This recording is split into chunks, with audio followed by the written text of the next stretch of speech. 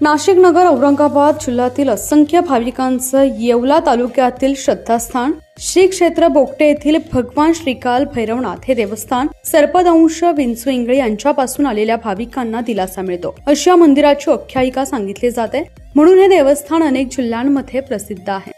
असंख्य भाविक जन्मोत्सवाच्या निमित्तानं दर्शनासाठी येत असतात. त्यामुळे सालाबादप्रमाणे याही वर्षी भगवान श्रीकाल भैरवनाथ जन्मोत्सवाच्या निमित्तानं बोगटे देवळाने दुगलगाव ग्रामस्थांच्या वतीनं अखंड हरिणाम सप्ताह तुलसी आणि ग्रंथराज ज्ञानेश्वरी पारायण दररोज सायंकाळी कीर्तनासह महाप्रसादाचं आयोजन दहा नोव्हेंबरपासून बोगटे येथे करण्यात आलंय.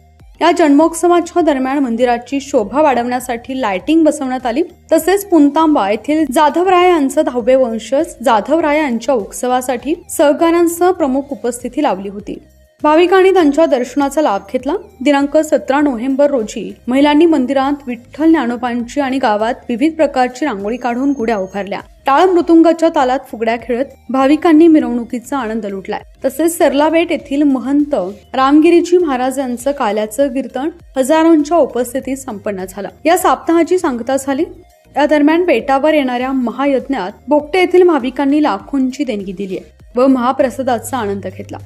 या कार्यक्रमात बोगटे देवळाने दुगलगावसह परिसरातील फजनी मंडळींसह भक्त परिवार यांनी मोलाचं योगदान दिलं.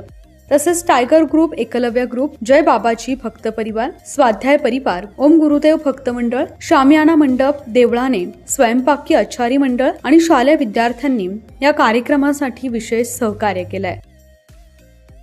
न्यूज फिफ्टीन मराठीसाठी हितेश दाभाडे येवला.